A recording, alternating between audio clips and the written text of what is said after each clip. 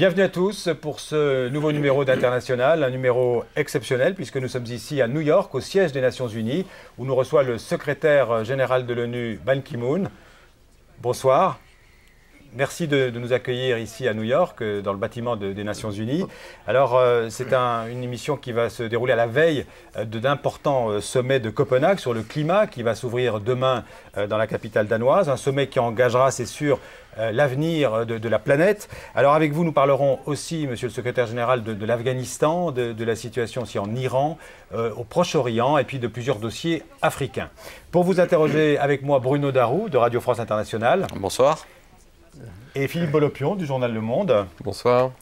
Alors avant toute chose, euh, un rappel, un résumé euh, de votre action à la tête de l'ONU depuis janvier 2007, un résumé qui est fait pour nous par Sophie Goldstein. Secrétaire général de l'ONU, le poste le plus impossible au monde, boutade d'un ancien titulaire. En 2007, Kofi Annan passe la main à Ban Ki-moon. Changement de style, même mission, mettre la grande machine onusienne au service des droits de l'homme, de la paix, du développement.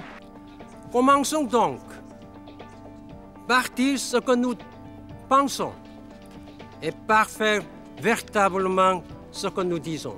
L'ancien chef de la diplomatie sud-coréenne se présente comme un médiateur accessible, favorable au dialogue pour l'union des nations. Le monde découvre au même moment les images de l'exécution de Saddam Hussein. Réaction du nouveau chef de l'ONU. Cette question de la peine de mort c'est l'affaire de chaque pays. Amnesty International dénonce un recul sur les droits de l'homme. Trois ans se sont écoulés depuis. Jamais l'ONU n'a été aussi présente sur le terrain. 115 000 casques bleus, deux fois plus qu'il y a 15 ans. 18 missions en cours, notamment au Darfour, la priorité de Ban. Omar al-Béchir a finalement donné son accord pour le déploiement des casques bleus, mais le président soudanais est toujours en place. Le mandat d'arrêt international lancé contre lui pour crimes de guerre et génocide resté sans effet. En Afghanistan, la fraude de grande ampleur a terni la réélection d'Hamid Karzai, discrédit pour les États-Unis et l'ONU qui se portent caution malgré la corruption du régime.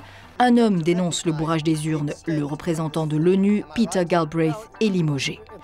Au Proche-Orient, des tirs de roquettes sur Israël, à l'opération Plomb durci sur Gaza, l'ONU condamne et se désole des morts civiles. C'est un échec collectif. L'enquête confiée à Richard Goldstone épingle Israël et le Hamas pour crimes de guerre. À Ban Ki-moon de décider du transfert du rapport au Conseil de sécurité. Une saisine de la Cour pénale internationale serait alors possible. Autre priorité de l'ONU, la non-prolifération nucléaire. Or, faute de consensus, la diplomatie n'a pas abouti ni à faire fléchir la Corée du Nord, ni à dissuader l'Iran de poursuivre l'enrichissement nucléaire. La Birmanie, enfin, le cyclone Nargis crée les conditions d'une ouverture. La junte accepte l'aide de l'ONU, mais se montre intraitable sur la remise en liberté de sa dissidente Aung San Suu Kyi. Je suis profondément déçu. Beaucoup de déplacements peu de concrets et de vives critiques à mi-mandat. Le patron de l'ONU parle-t-il suffisamment haut, fort et ferme? J'ai mon propre charisme, ma propre façon de diriger. Contraindre les États à agir bon gré mal gré, c'est toute la complexité de la mission onusienne. La récession s'y est ajoutée. Les vulnérables le sont encore plus. Les objectifs du millénium, réduire la pauvreté de moitié d'ici 2015, seront difficiles à tenir. Dans ce contexte, c'est sur le climat que l'action de Ban Ki-moon semble la plus volontaire. Demain, à Copenhague, s'ouvre un sommet qu'il veut historique. Alors, monsieur le secrétaire général, euh, Sophie Goldstein vient de le rappeler, le sommet de Copenhague euh, commence demain, donc euh, dans la capitale danoise. Vous vous êtes beaucoup investi personnellement pour éviter un, échec. À quelles conditions, à partir de quels résultats considérez-vous ce sommet de Copenhague comme un véritable succès? Bonsoir, je suis très heureux d'être avec vous ce soir sur le programme international. Mhm.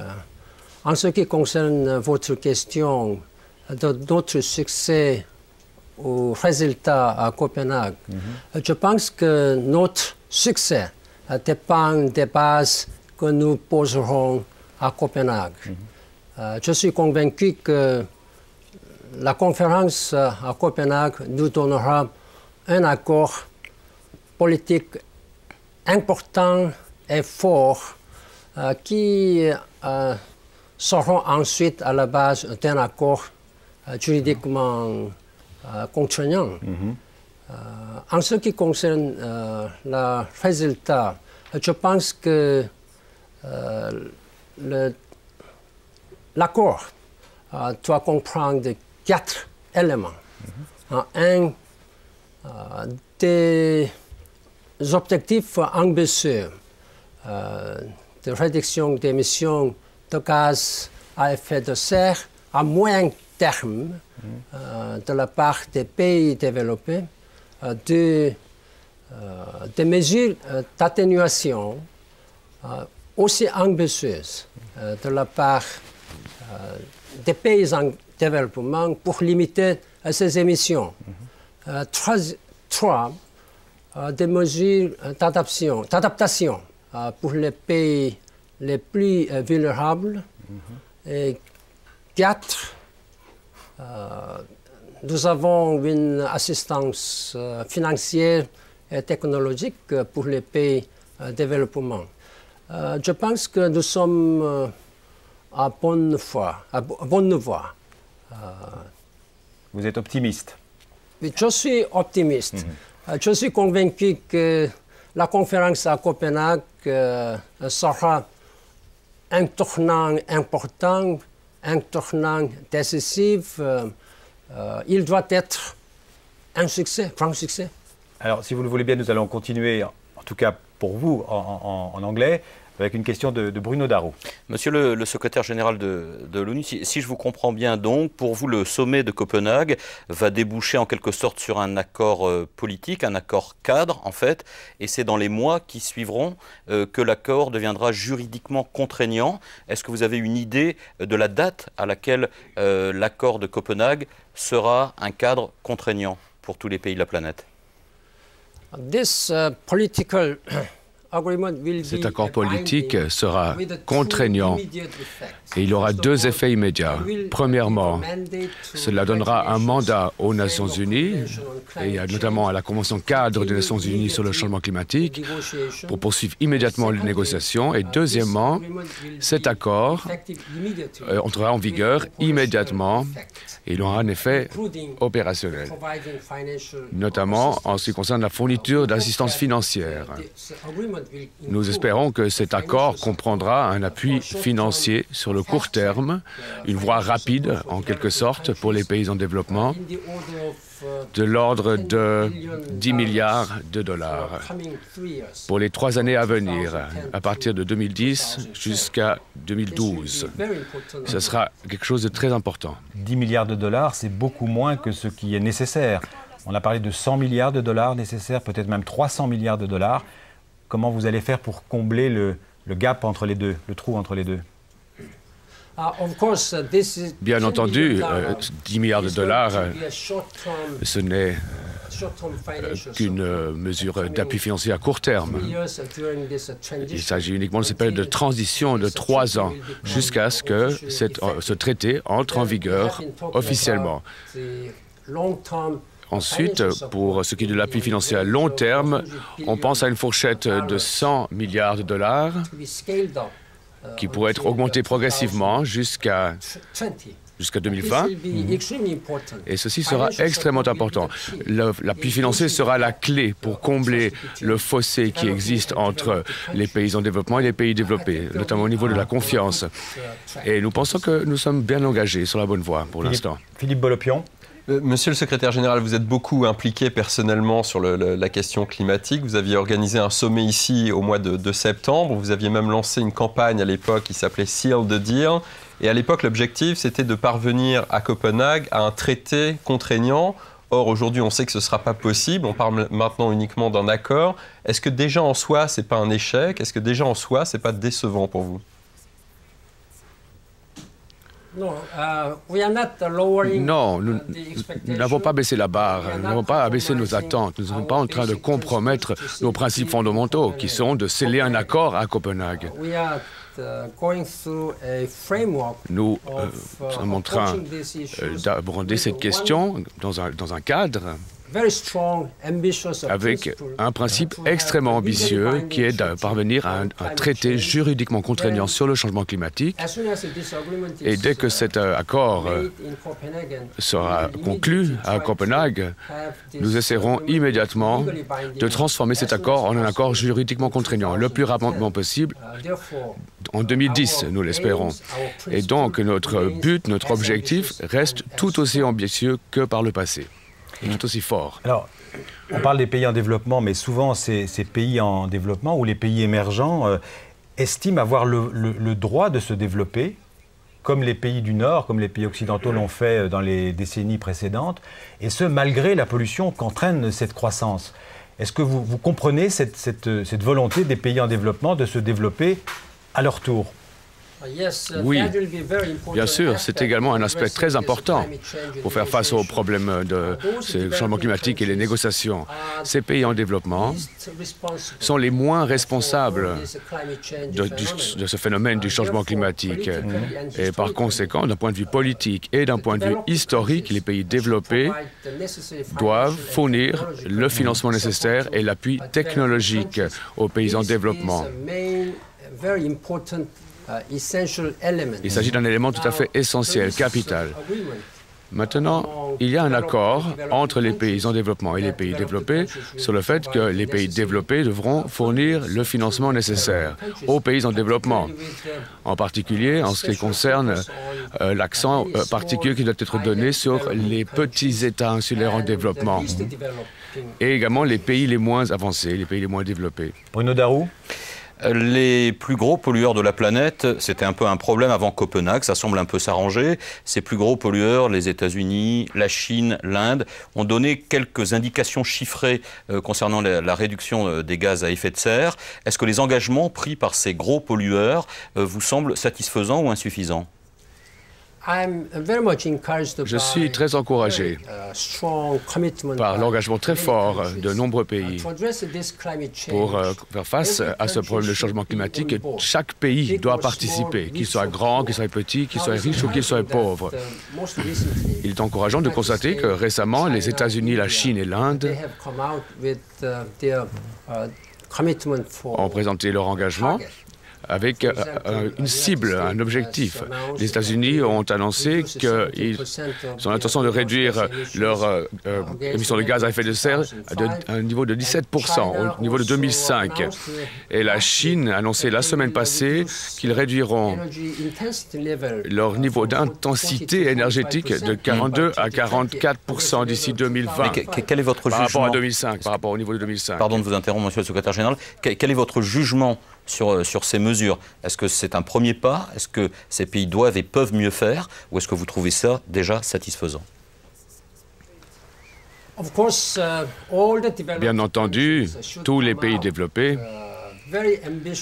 doivent se fixer des objectifs très ambitieux à moyen terme, tel que cela a été recommandé par le groupe intergouvernemental sur l'évolution du climat. Il y a certains pays dont les objectifs sont peut-être un peu euh, inférieurs à ce que nous voulions, mais nous sommes encouragés que la Chine et l'Inde récemment aient mis au point et présenté leur engagement et ils ont pris des engagements, des décisions nationales très ambitieuses, ce qui sera très utile. Dans tout aspect des politiques économiques, il faut toujours garder à l'esprit cette question, garder à l'esprit le changement climatique. Et c'est ce que sont, en train de faire les pays développés et en développement en ce moment même. L'Union européenne, le Japon ont tous euh, euh, arrêté des objectifs très, très ambitieux. La Corée du Sud, la France, l'Indonésie, le Brésil ont également arrêté, pris des engagements très forts. Monsieur le secrétaire général, euh, une des voies pour euh, aider les pays en développement, euh, c'est une proposition qui a été faite par, par la France, entre autres. On appelle ça les financements innovants, c'est-à-dire d'instaurer une taxe sur les, transactions financières. C'est une taxe qui serait à peu près de, de 5 centimes d'euros pour, pour 1000 euros de transactions financières. Est-ce que vous êtes favorable à ce projet de, taxe sur les transactions financières? Uh, de nombreuses suggestions ont été faites, de nombreuses idées ont été jetées, ont été lancées, qui sont toujours sur la table. Mais à ce stade, nous ne sommes pas encore mis d'accord sur les modalités précises ou sur une formule particulière. Mais sur le principe en tant que secrétaire général, j'essaye d'aider, de porter mon concours, de faciliter les négociations. Uh, uh, Mais c'est essentiellement aux gouvernements souverains, aux pays souverains, qui vont devoir négocier et prendre des décisions sur cette question.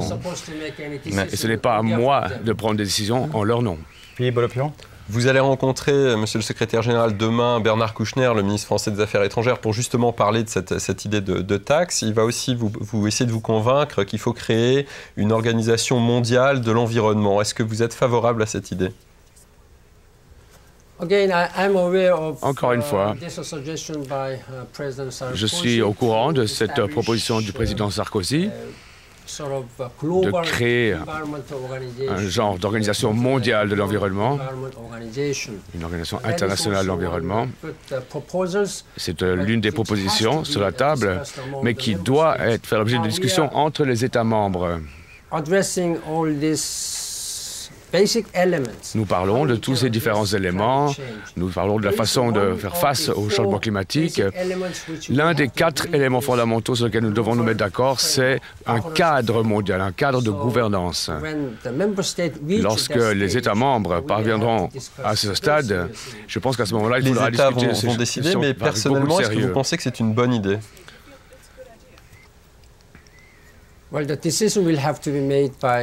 Encore une fois, la décision devra être prise par les États membres. Ce n'est pas le secrétaire général qui va prendre ce genre de décision.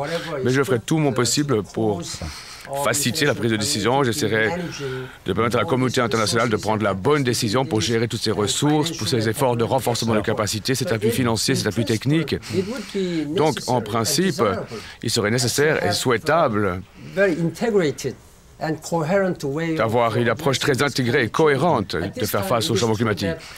À ce stade, il est vrai qu'il existe une kyrielle d'agences et de programmes dans le monde de fonds qui s'occupent des questions relatives au changement climatique. Donc, il existe parfois des difficultés de la part des pays en développement. Ils ne savent pas où trouver leur appui financier, leur appui technique. Mais justement, en, attendant euh, la, création de cette euh, euh, agence internationale de l'environnement ou de cet euh, office international de l'environnement, est-ce que, l'ONU ne pourrait pas jouer le rôle de, de, donneur de sanctions? Parce que fatalement, il va y avoir des décisions qui vont être prises, sinon à, Copenhague, peut-être ensuite, l'année prochaine. Donc il faudra veiller, il faudra contrôler les décisions qu'on a prises, veiller, euh, à, veiller à sanctionner les dépassements éventuels ou le non-respect des promesses qui ont été engagées lors de ces sommets sur le climat. Est-ce que l'ONU peut jouer ce rôle de, gardien et, et donner éventuellement des sanctions?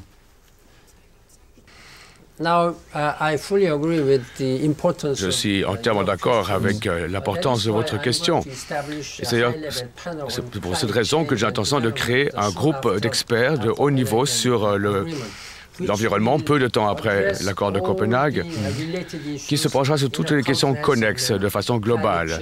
Changement climatique, qui est relié à toute une, autre, toute une série d'autres questions de développement.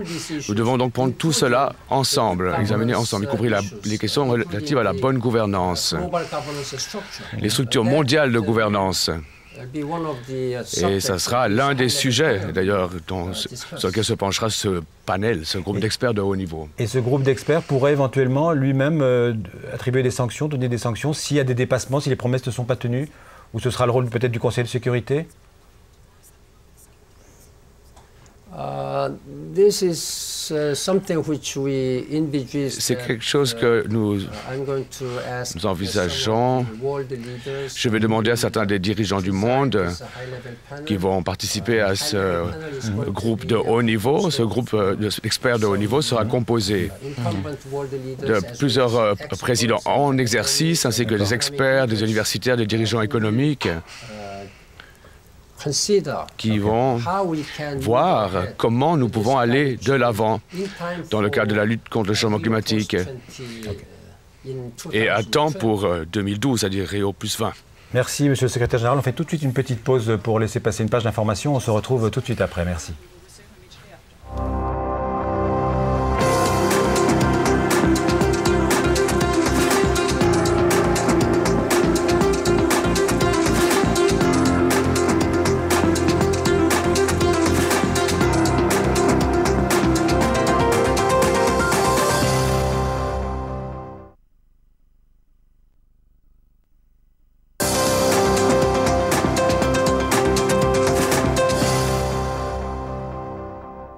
Deuxième partie d'international, international exceptionnel, puisque vous le savez, nous sommes ici à New York, au siège de l'ONU, avec le secrétaire général de l'ONU, Ban Ki-moon.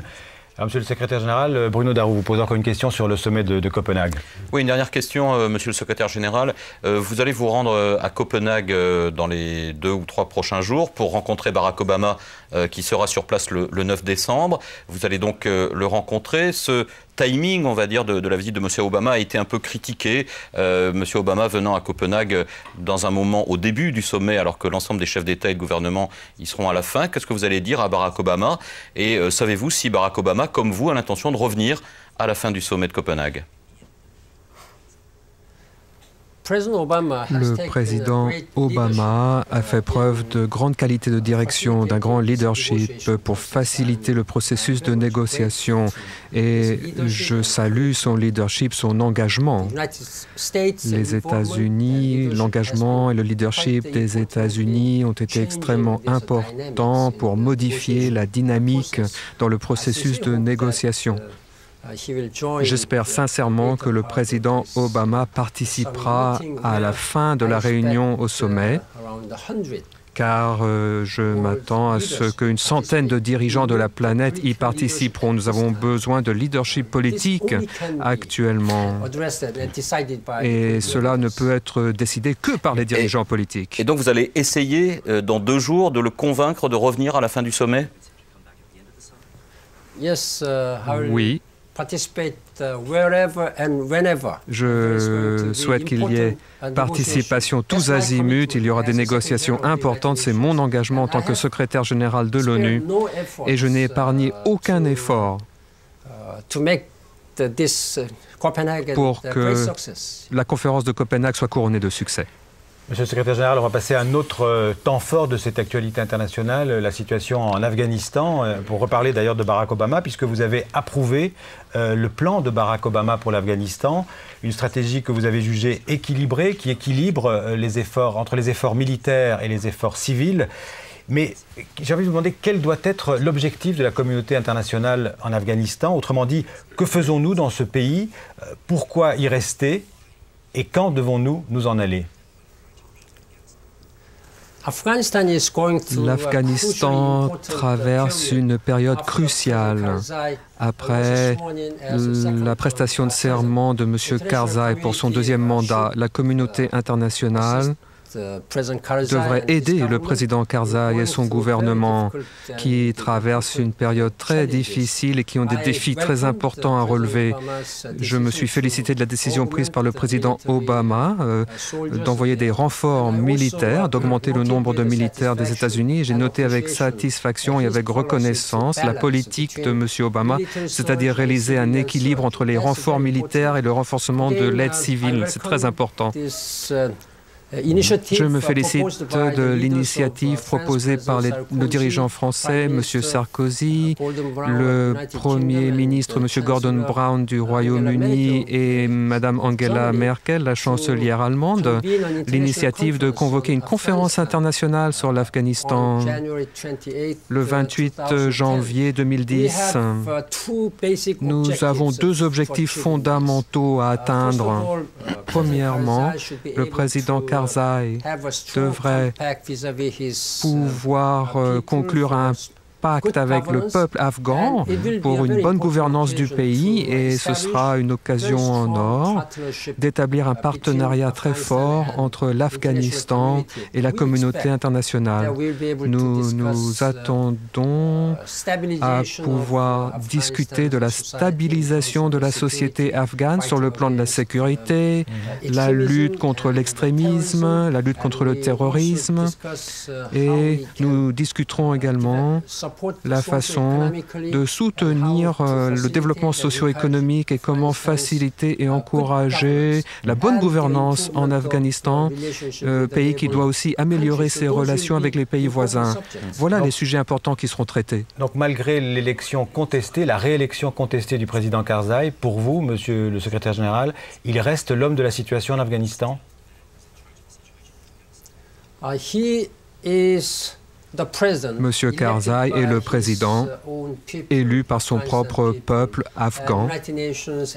L'Organisation des Nations Unies et la communauté internationale étaient, présents, étaient présentes pour euh, contrôler, surveiller, faciliter le déroulement de l'élection. Je regrette qu'il y ait eu des cas de fraude et des irrégularités. Mais maintenant qu'une décision a été prise, nous devons appuyer M. Karzai. L'ONU s'est engagée à soutenir l'Afghanistan en étroite coordination avec la communauté internationale. Philippe Bolopion Monsieur le secrétaire général, la, mesure clé quand même annoncée par le président Obama, c'est une augmentation importante du nombre de troupes qui vont être envoyées en Afghanistan. Est-ce que vous craignez pas, vous avez salué cette décision, mais est-ce que vous craignez pas que ça euh, génère aussi davantage de ressentiment parmi une partie de la population afghane? Plus de troupes égale plus de problèmes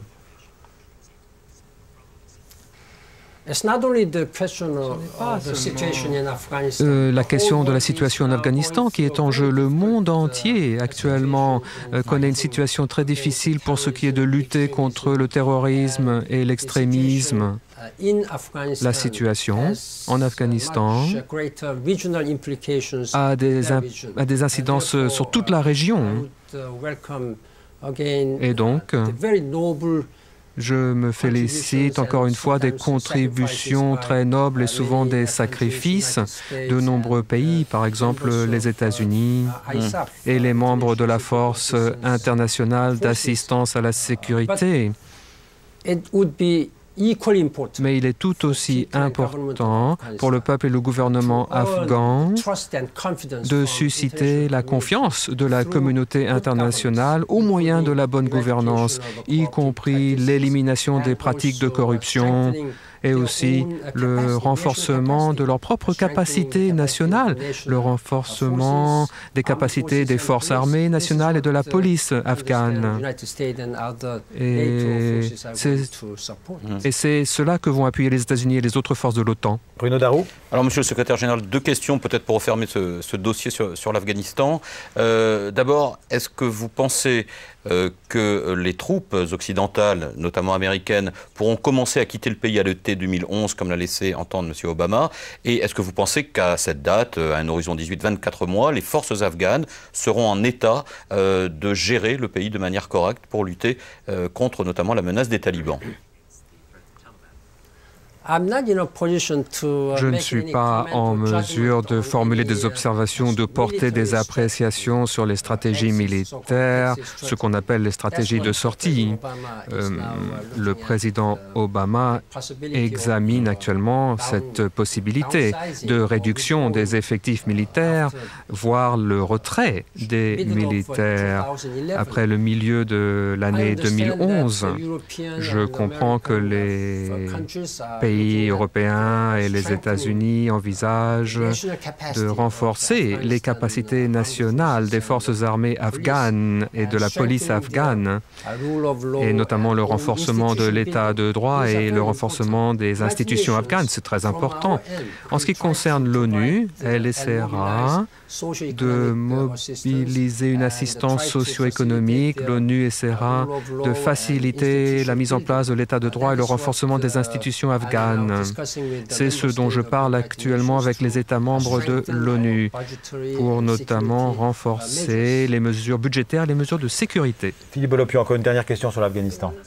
comment allez-vous comment, l'ONU va-t-elle accompagner cette nouvelle stratégie américaine? Qu'est-ce que vous allez, vous allez faire concrètement pour, pour aider les États-Unis dans cette nouvelle stratégie? Et on dit aussi ici que le chef de la mission de l'ONU sur place, KI2, euh, va très bientôt quitter son poste. Est-ce que c'est vrai et est-ce que vous avez commencé à lui chercher un remplaçant? Uh, nous avons ouvert deux nouveaux bureaux cette année. Nous avons maintenant 20 bureaux sur l'ensemble du territoire afghan. Uh, et je vais augmenter le nombre de bureaux de l'ONU l'année prochaine pour qu'on puisse créer tous ces bureaux régionaux dans l'ensemble du pays. C'est l'engagement que nous avons pris et c'est ce que les États membres souhaitent que nous fassions. En ce qui concerne euh, la direction de la mission d'assistance des Nations Unies en Afghanistan, la MANUA, nous devrons examiner cette question sous tous ses aspects, mais je n'ai pas encore pris de décision. J'ai pleine confiance en M. Kai Haide. Il a joué un rôle décisif pour euh, favoriser l'évolution de la situation et pour le déroulement du processus électoral. Il a assuré une étroite coordination avec les grands protagonistes internationaux. Monsieur le secrétaire général, passons au dossier euh, iranien, si vous le voulez bien. Alors l'Iran qui poursuit son programme d'enrichissement euh, de l'uranium malgré les résolutions de l'Agence internationale de l'énergie atomique. J'ai envie de vous demander si vous vous trouviez en face du président iranien Ahmadinejad en tant que secrétaire général de l'ONU. Quel serait, quel serait votre message à l'Iran aujourd'hui? Où que ce soit, quand que ce soit, à chaque fois qu'il y a eu une possibilité de rencontrer le président Ahmadinejad et autres hauts responsables gouvernementaux iraniens, à chaque fois que je les ai rencontrés, je leur ai demandé instamment de d'élaborer leur politique euh, nucléaire en faveur du développement. Il faut qu'ils démontrent que leur programme nucléaire, c'est véritablement des fins pacifiques. Mais il semble y avoir euh, un fossé de défiance entre l'Iran et la communauté internationale. J'espère que les négociations se poursuivront, notamment avec le processus 5 euh, membres permanents plus 1. C'est un processus très important et je suis vivement préoccupé par la situation actuelle qui fait que les autorités iraniennes ont déclaré qu'elles allaient construire 10 centrales supplémentaires d'enrichissement de l'uranium. Il y a cinq résolutions du Conseil de sécurité qui ont été adoptées. Ces résolutions doivent être pleinement respectées par les autorités iraniennes. Les autorités iraniennes devraient pleinement coopérer avec l'AIEA et j'espère sincèrement que nous pourrons résoudre ce problème de façon pacifique au moyen du dialogue. En tant que secrétaire général, j'ai tout mis en œuvre pour faciliter les négociations en cours. Mais si l'Iran ne coopère pas, quels moyens la communauté internationale dispose pour faire plier l'Iran euh, On a parlé de sanctions. Est-ce que vous pensez que ces sanctions, euh, euh, d'abord, est-ce qu'elles doivent avoir lieu? Est-ce qu'il faut sanctionner l'Iran? Et est-ce que ces sanctions seraient efficaces? Il y a déjà trois résolutions du Conseil de sécurité comprenant des sanctions, des sanctions contre l'Iran. Il appartient aux États membres du Conseil de sécurité de se prononcer sur les mesures euh, supplémentaires qui devraient être éventuellement prises. Mais en ce qui me concerne, dans la mesure où, il y a eu une initiative pour qu'il y ait une négociation entre les parties intéressées, euh, dirigée par les cinq membres permanents plus un pays, ces négociations devraient se poursuivre avant d'envisager des mesures supplémentaires. Pour euh, revenir sur, euh, sur euh, ces sanctions, Monsieur le Secrétaire général, on dit que ces sanctions contre l'Iran, nouvelles sanctions, pourraient être adoptées par la communauté internationale avant la fin de l'année. Vous confirmez cette information? Je, n'ai pas reçu moi-même ces informations. Il est vrai qu'il y a eu des annonces récentes des autorités iraniennes qui ont annoncé qu'elles allaient construire 10 euh, installations supplémentaires, ce qui a suscité une vive inquiétude au sein de la communauté internationale. Encore une fois, la meilleure solution, ce serait de poursuivre les négociations afin que le problème puisse être résolu de façon pacifique. Philippe Bolopion. Euh, en tant qu'ancien ministre des Affaires étrangères d'un pays qui sait ce que c'est que de vivre avec un voisin nucléaire, est-ce que vous êtes inquiet par ce que certains voient comme une récente dérive du régime iranien euh, qui euh, défie la communauté internationale, annonce qu'il va enrichir de l'uranium à 20%, qu'il va construire 10, sites, 10 nouveaux sites d'enrichissement de l'uranium? Est-ce que, est -ce que ça vous inquiète, cette dérive? Bien entendu, je suis vivement préoccupé. C'est pour cela que je me suis exprimé fermement en présentant ma position en tant que secrétaire général de l'ONU.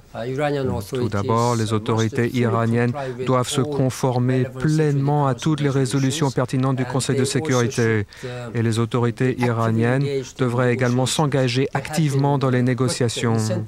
Il y a eu de bonnes mesures d'incitation proposées par euh, les cinq membres permanent plus un autre pays. Et l'Iran devrait respecter toutes les résolutions adoptées par l'AIEA. La signature du protocole supplémentaire avec l'AIEA serait également une bonne façon pour les autorités iraniennes de démontrer ils sont sincères dans la négociation ou ils jouent la montre? C'est pour cela que je leur demande instamment de s'engager sincèrement, authentiquement dans les négociations et je continuerai de défendre cette position. Monsieur le secrétaire général, Philippe Bolopion vient, de parler de votre origine coréenne. Euh, qui dit Corée dit aussi Corée du Nord. La Corée du Nord euh, a fait déjà exploser euh, deux bombes atomiques ces dernières années. Euh, est-ce que vous êtes inquiet pour la prolifération nucléaire euh, dans le monde Et est-ce qu'aujourd'hui, la, Corée du Nord, la Corée du Nord représente un danger pour la paix mondiale? Uh,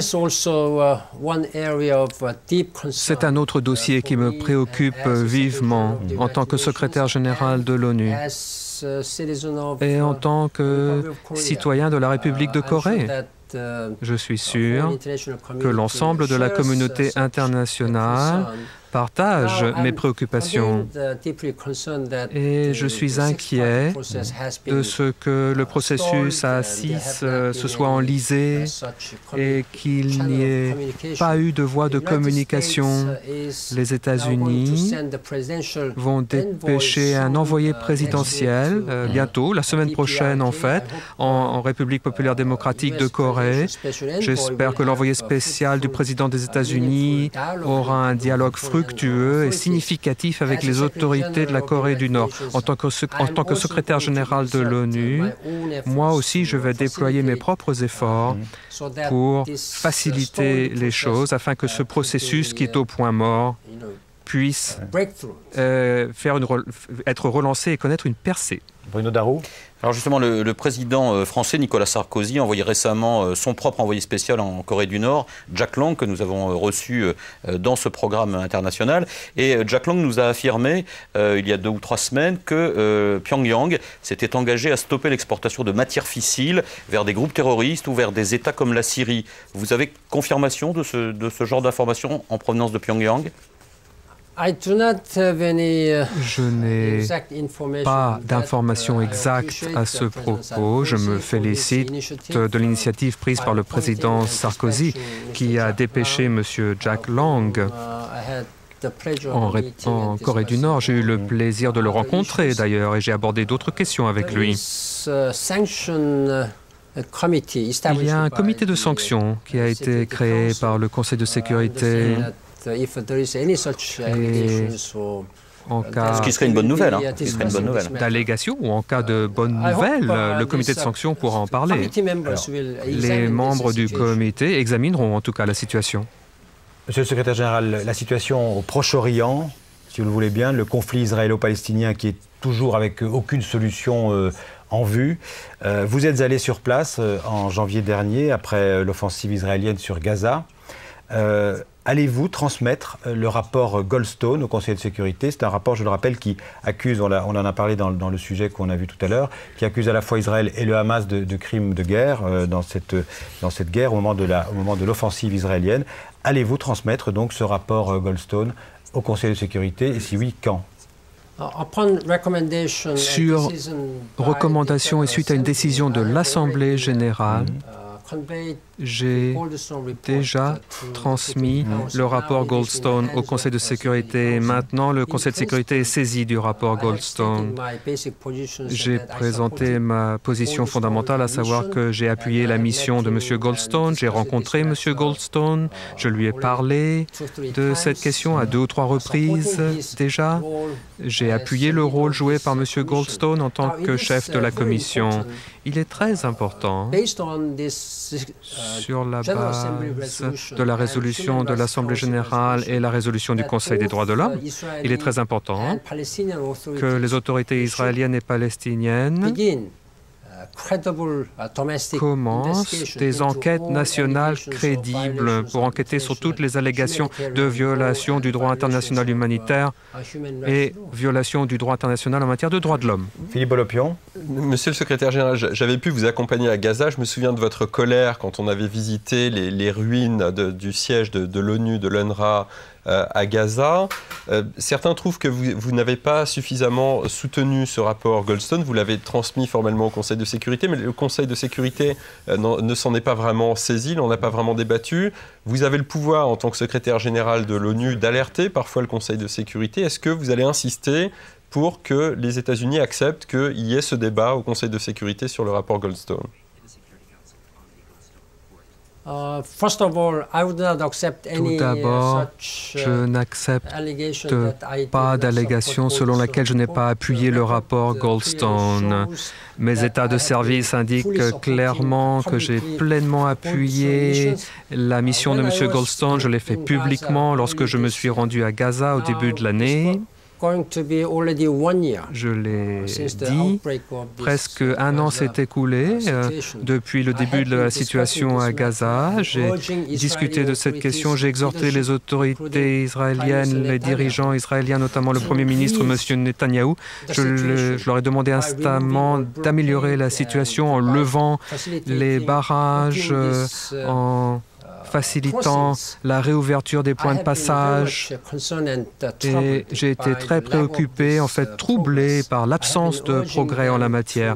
Je les ai exhortés à permettre l'ONU d'acheminer l'aide humanitaire, d'exécuter des projets humanitaires. Nous devons construire des hôpitaux, des installations d'assainissement.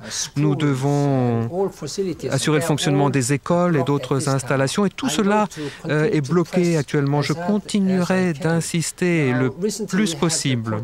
Récemment, il y a eu une réunion du Quatuor, euh, les principaux membres du Quatuor, au plus haut niveau donc, et nous avons passé en revue la situation.